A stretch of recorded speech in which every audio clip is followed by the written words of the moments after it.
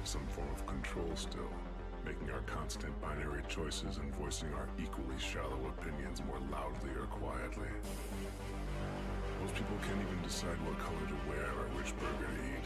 Well, does it matter, man? Uh, autonomy is an illusion.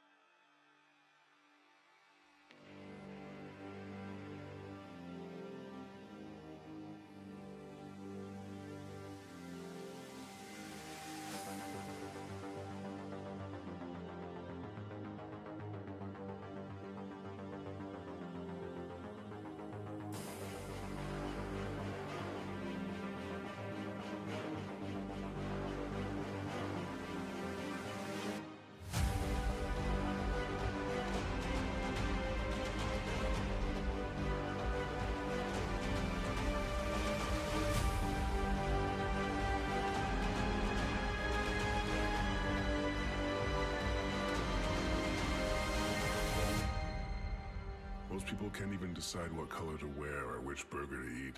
What the does it matter, man? Autonomy is an illusion.